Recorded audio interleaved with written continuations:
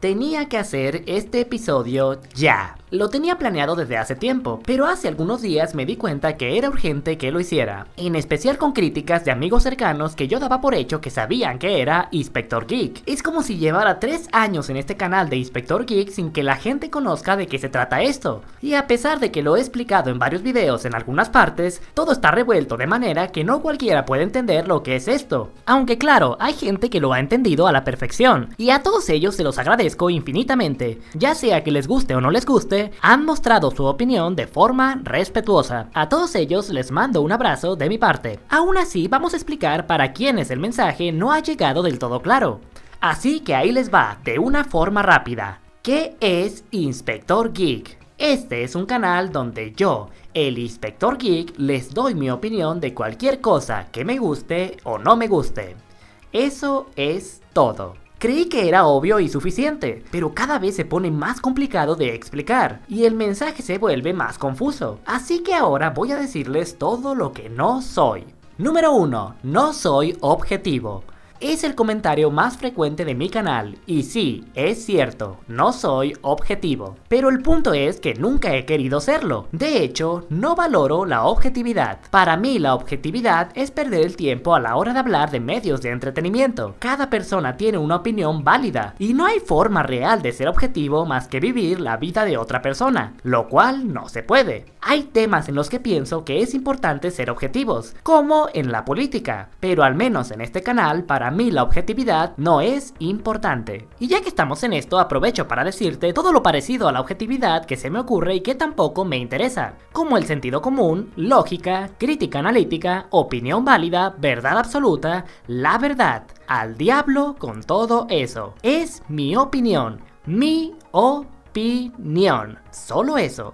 ¿Capichi? Número 2. No tengo razón en nada. Así es, al igual que la objetividad, no me interesa tener la razón. Para mí, todas las personas tienen la razón, incluso yo mismo. Por lo consiguiente, nadie la tiene. Número 3. No represento a nada ni a nadie. Sea de lo que sea que hable, yo no represento a ninguna comunidad, solo a mí mismo. Si un día hablo de la industria de videojuegos, no estoy hablando como representante de la industria, sino como un simple desarrollador que da su opinión al respecto. Si un día hablo de ponis, no soy defensor de los derechos de los caballos pequeños. Si un día hablo de videojuegos, no represento a los gamers, solo soy yo, Inspector Geek, diciendo lo que opino y ya. Número 4. No soy atinado al 100%. En cuanto se trata de datos, no siempre estoy actualizado al 100% con la información necesaria o muchas veces se me filtra información falsa o sin confirmar, dado a las prisas principalmente, por lo que me disculpo de manera prematura. Recuerden que Inspector Geek hasta el día de hoy no es mi trabajo, es algo que hago de manera amigable más que nada, y con prisas. Sin embargo, siempre he creído que la opinión de una persona es importante sin depender el grado de conocimiento que tenga de un tema. Para mí es tan importante lo que opina una persona que por primera vez jugó Metal Gear a una persona que lleva 25 años pegado de la saga. Número 5. Sobrevalorado o infravalorado no son relevantes para mí. Estos términos tienen relevancia si estuviéramos hablando de algo de valor cuantitativo como el dinero, pero en algo tan ambiguo como la industria del entretenimiento, la palabra no tiene significado alguno para mí. En resumen, nada, absolutamente nada para mí es infravalorado ni sobrevalorado en la industria del entretenimiento. Así que por favor tengan eso en mente, ya que parece ser la palabra favorita de mucha gente. Número 6. No soy guía de nadie, solo soy una persona dando mi opinión. Tú mismo tienes la responsabilidad de tomar lo que te sirva de estos videos y desechar lo que no te sirva, al mismo tiempo que eres libre para expander en el tema. Número 7. No soy experto en nada. Me distraigo fácilmente en muchos temas, por lo cual difícilmente me podría llamar experto de algo en particular. Número 8. No tengo rivales. Para mí todos podemos construir algo mejor. No me gusta dividir, me gusta unir fuerzas. Gente que hace videos con opiniones totalmente opuestas a la mía cooperan a la causa de la libre expresión y los veo como amigos, no como enemigos. Número 9. No intento lavarte el cerebro. Toda información que ves aquí solo es un pequeño mundo de una pequeña persona. No quiero ni cambiar tu opinión ni confrontarla, solo que veas una opinión más allá de la tuya. Número 10. No estoy en contra de nadie. Si una persona opina totalmente distinto a mí, su opinión es bienvenida, aunque yo no la comparta. Número 11. No demerito tu opinión.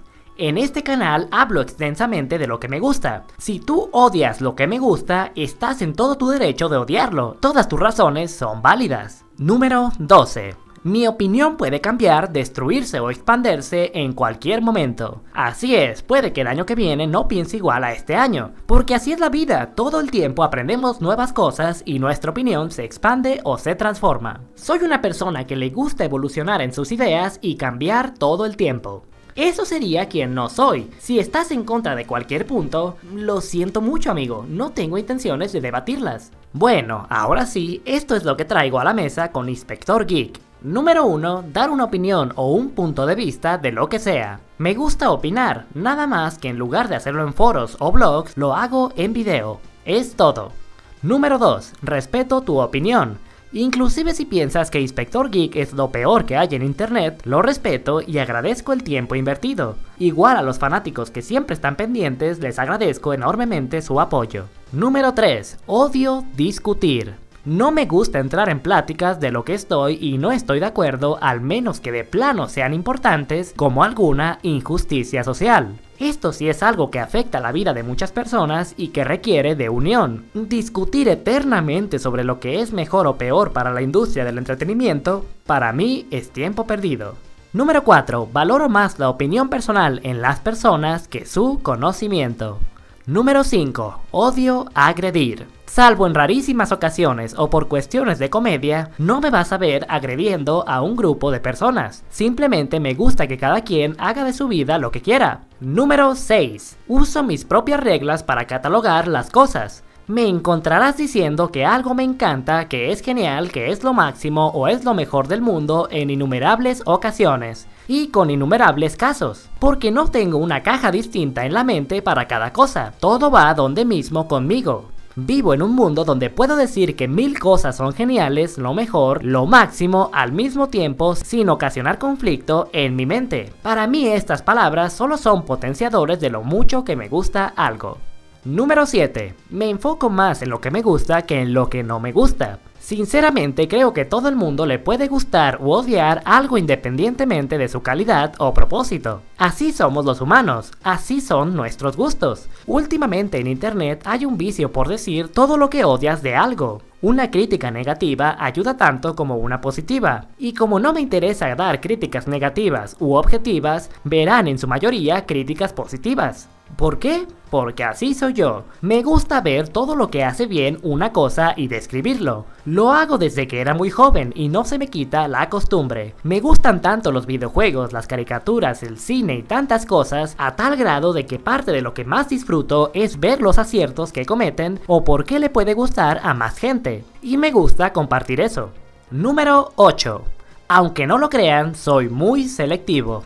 Bien parece que todo lo que veo me gusta, pero no es verdad. Más bien me conozco tan bien a mí mismo que sé cuando algo me va a gustar y le pongo toda mi atención. Rara vez algo me decepciona porque me conozco increíblemente bien y selecciono muy bien lo que voy a experimentar. Antes de experimentar algo, investigo de fondo su historia, su estilo, la propuesta, las posibles cosas que no me gustan, etc. Es como si viera una jaula llena de cachorros y eligiera al mejor. Así soy con todo, videojuegos, películas, anime, etc. Solo de muy niño veía lo que sea, pero ese tiempo quedó en el pasado. De hecho, no tolero ver algo que no me gusta por mucho tiempo. La verdad no entiendo cómo hay gente que ve series completas que no le gustan. Yo con simples dos o tres capítulos de una serie ya puedo darme cuenta si me va a gustar o no. Y evito verla en caso de que no me guste. Y aún así, si llego a toparme con algo que no me guste, en mi mente digo, bueno, entiendo a quién sí le puede gustar esto, a pesar de que a mí no me haya gustado. Veo más provecho en eso que ponerme con una actitud de Mierda, todo es mierda, esto es una mierda, nadie lo vea, es mierda, todo es mierda, odio la mierda que estás viendo, esto es una mierda, esto es una mierda también, todo es una mierda, esto es una mierda, esto es una mierda. Número 9. No me tomo en serio a mí mismo. Soy un idiota igual que cualquier otro. Número 10. Tengo muchas opiniones sobre una sola cosa. Esto lo he tenido desde niño. Usualmente tengo más de tres opiniones sobre un mismo tema u objeto, incluso opiniones que se contradicen y no tengo conflicto con ello. He notado que la mayoría de la gente suele tener solo una y aferrarse a ella, pero yo por lo usual veo las cosas desde muchos ángulos distintos y me formulo muchas opiniones sobre el mismo objeto. Lo interesante es ver qué opinión es la que publico en video. Usualmente es la más positiva o la más ligada a mis sentimientos. Creo que es la principal razón por la que entiendo la perspectiva de mucha gente que no le gusta o sí le gusta algo, porque al menos una de mis tantas opiniones coincide con ellos. No sé qué tan normal sea eso, pero así funciona mi mente, y me encanta ser así. Lo único difícil es lidiar con gente que no lo entiende. Número 11. Tengo una obsesión en saber el por qué me gustan las cosas que me gustan. Recuerdo que de niño todo el tiempo le tenía esta pregunta a mi madre. Mamá, ¿por qué?